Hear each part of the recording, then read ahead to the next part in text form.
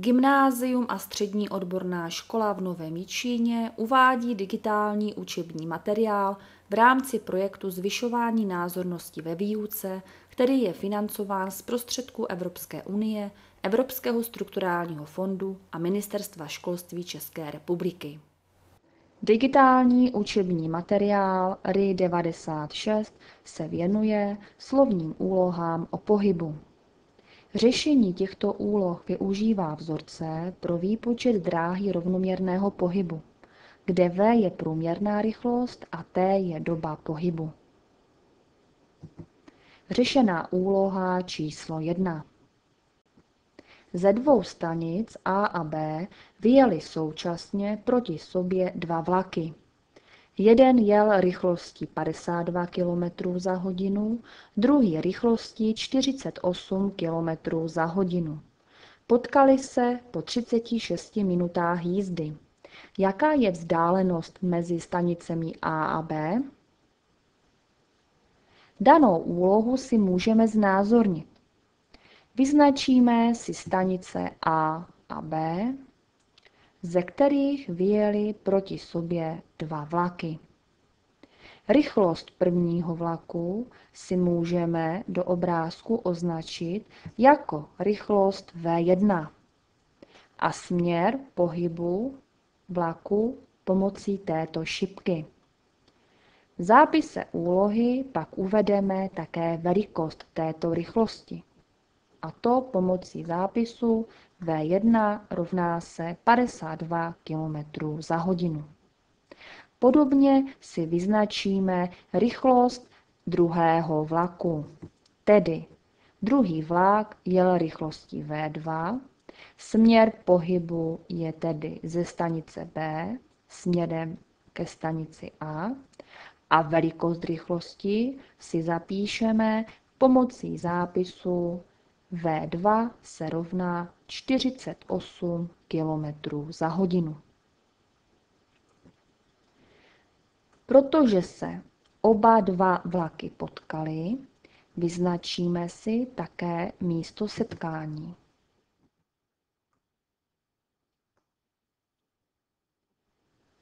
Protože oba dva vlaky vyjeli proti sobě současně, Znamená to tedy, že oba dva vlaky jeli po stejnou dobu. Tedy doba pohybu vlaku jedoucího ze stanice A, kterou si označíme T1, bude stejná jako doba pohybu vlaku jedoucího ze stanice B. Tedy víme, že se potkali po 36 minutách jízdy. To znamená, že oba dva vlaky jeli 36 minut. A to zapíšeme jako T1 rovná se 36 minut a T2 rovná se 36 minut. Vzhledem k tomu, že máme rychlost vyjádřenou v hodinách, převedeme si minuty na hodiny zapíšeme, že 36 minut je 36 šedesátin hodin, po vydělení pak žádná celá 6 hodin. Tuto dobu se také pohyboval vlak jedoucí rychlostí V2.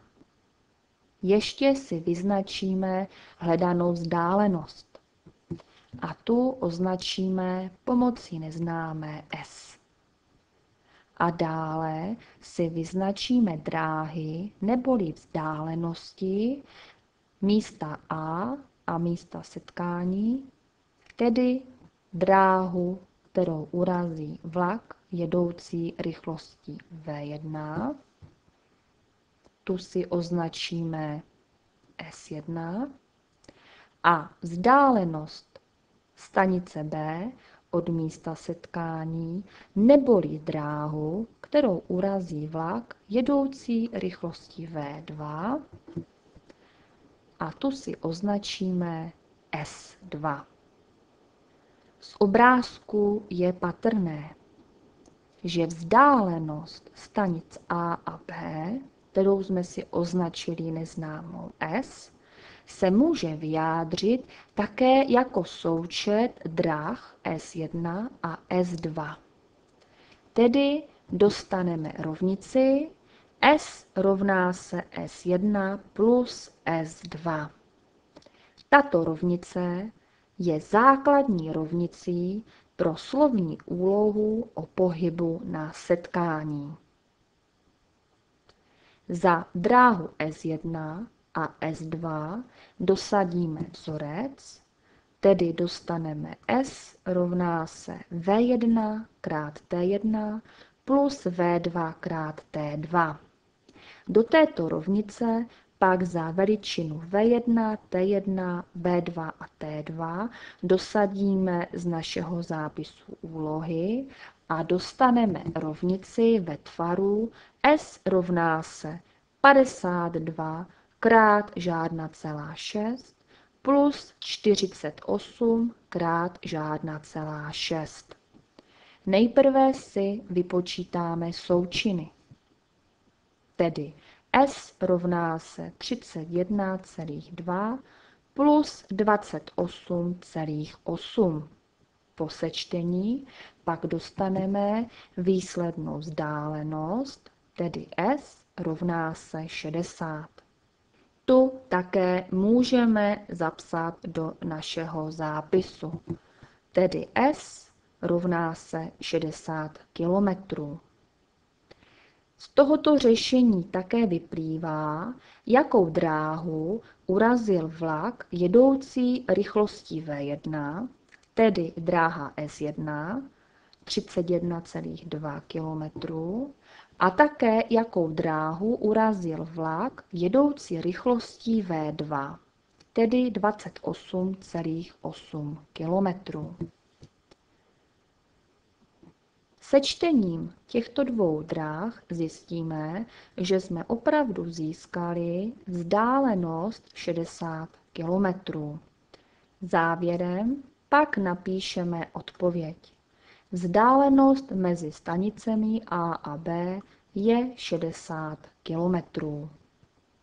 Řešená úloha číslo 2.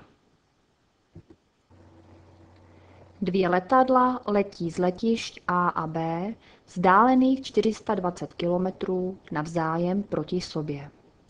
Letadlo z letiště A odstartovalo o 15 minut později a letí průměrnou rychlostí o 40 km za hodinu větší než letadlo z letiště B.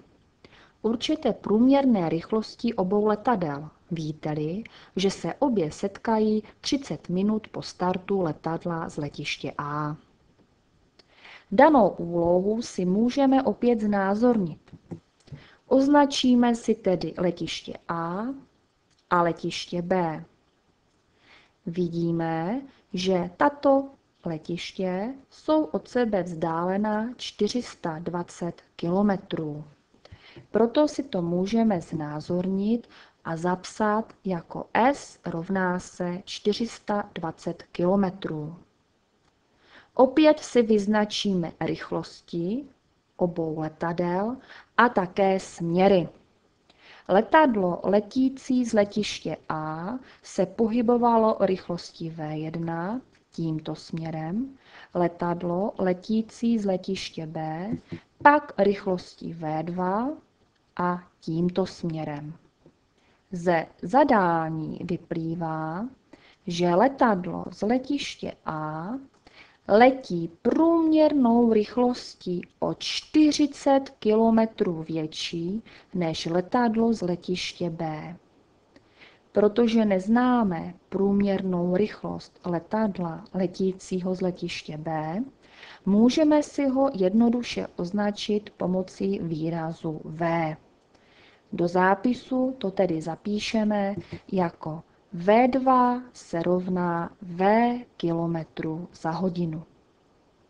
A podmínku, že letadlo z letiště A letící rychlostí V1 a to rychlostí o 40 km za hodinu větší než rychlost letadla letícího z letiště B, tak můžeme zapsat pomocí výrazu V1 rovná se V plus 40 km za hodinu. Ještě si zapíšeme doby letu obou letadel. Opět se vrátíme k zadání úlohy, kde vidíme, že se obě letadla setkají 30 minut po startu letadla z letiště A. To tedy znamená, že z této podmínky vyčteme dobu letu letadla letícího z letiště A. A to je 30 minut. Zapíšeme to tedy pomocí výrazu t rovná se 30 minut převedením na hodiny, tedy jedna polovina hodiny. Protože obě dvě letadla nevyletěla současně z obou letiš, ale letadlo A odstartovalo o 15 minut později než letadlo B, z toho tedy vyplývá, že letělo kratší dobu, neboli letadlo z letiště B letělo o 15 minut déle než letadlo z letiště A. A protože víme, že doba letu letadla z letiště A je 30 minut, proto doba letu letadla z letiště B T2 bude 30 plus 15 minut, tedy 45 minut. Převedením na hodiny pak 3 čtvrtiny hodiny. Tyto zlomky si můžeme také vyjádřit pomocí desetinného čísla, tedy T1 rovná se žádná celá 5 hodin a T2 rovná se žádná celá 75 hodin. Ještě si do obrázku vyznačíme dráhy letu z místa A do místa setkání a z místa B do místa setkání. Tedy dráhu S1, kterou urazí letadlo letící rychlostí V1 a dráhu S2, kterou urazí letadlo letící rychlostí V2. Opět vidíme, že si vzdálenost obou letišť, která je vyjádřena S rovná se 420 km, můžeme vyjádřit jako součet jednotlivých drah. Tedy využijeme základní rovnici pro tento typ úlohy. S rovná se S1 plus S2, nebo také S1 plus S2 rovná se S. Za S1 a S2 opět dosadíme vzorec, tedy dostaneme V1 krát T1 plus V2 krát T2 rovná se S. A za V1 T1 a V2 T2 dosadíme z našeho zápisu úlohy. A dostaneme žádná celá 5 krát V plus 40 plus žádná celá 75V rovná se 420. Odstraněním závorky pak dostaneme rovnici žádná celá 5V plus 20 plus žádná celá 75V rovná se 420. Převedením čísla plus 20 na pravou stranu a sečtením výrazu na levé straně dostaneme řešení této rovnice V rovná se 320. Dosazení do zápisu za V 320 pak můžeme dopočítat průměrné rychlosti obou letadel, tedy Průměrná rychlost letadla letícího letiště B je 320 km za hodinu, průměrná rychlost letadla letícího z letiště A pak 320 plus 40, tedy 360 km za hodinu. Ještě se přesvědčíme o správnosti řešení, že provedeme zkoušku. Zkoušku provedeme tak, že si dopočítáme dráhy, které urazily obě letadla. To znamená dráhu S1 jako V1 krát T1, tedy 360 krát žádná celá 5, což je 180, a dráhu S2, kterou urazilo letadlo letící z letiště B, tedy V2 krát T2, 320 krát žádná celá 75, 240.